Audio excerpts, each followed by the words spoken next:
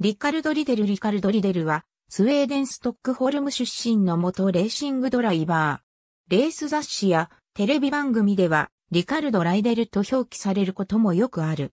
1984年、1985年にスウェーデンカート選手権でチャンピオンとなった。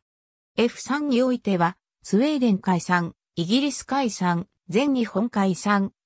実に7年もの長きにわたって様々な選手権に参戦した。この間、1989年のイギリス解散では、エディ・ジョーダンレーシング、全日本解散では、いずれの年もトムスに所属した。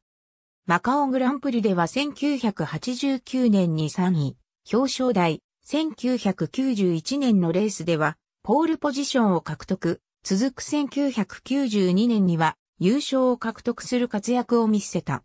1989年には国際会3000にも参戦している。1994年に日本からヨーロッパへと戻り、イギリスツーリングカー選手権への参戦を開始した。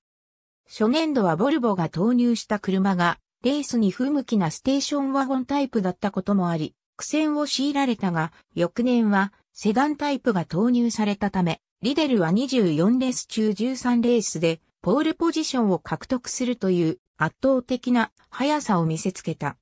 しかし、リデルはスタートを苦手としており、せっかくのポールポジションを不意にすることもしばしば見られた。そのため、優勝は、ポールポジション獲得回数を大きく下回るわずか4回に止まり、また、終盤ボルボが不調に陥ったこともあり、最終的なランキングも3位に終わった。BTCC では、この後も1996年、1999年、2000年はいずれも3位で終えており、チャンピオン争いには絡むものの、最終的にそれを逃すというシーズンを多く送ったが、1998年には念願のタイトルを獲得している。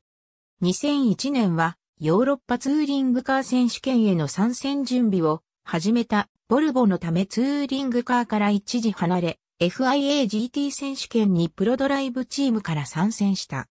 リデルは A1 リンクとハラマのレースにおける優勝に貢献し、同チームはフェラーリ550マラネロ勢の中ではトップとなるランキング5位を獲得した。2002年以降はイタックに参戦し、2004年にチームをセアトに移し、2005年に同選手権が世界ツーリングカー選手権となり、以後2シーズンにわたって走った。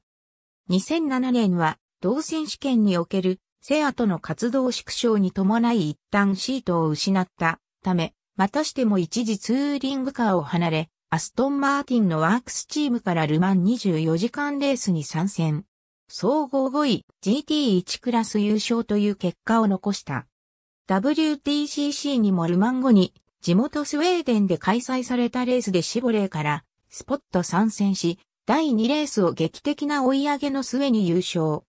その後、シーズン終盤には BMW と僅差でタイトル争いを繰り広げていたセアトから壊れてチームに復帰した。しかし、2012年以降はフルタイムでの参戦がなくなりスポット参戦を繰り返す状態が続いており、これを理由に2016年に引退を表明した。ありがとうございます。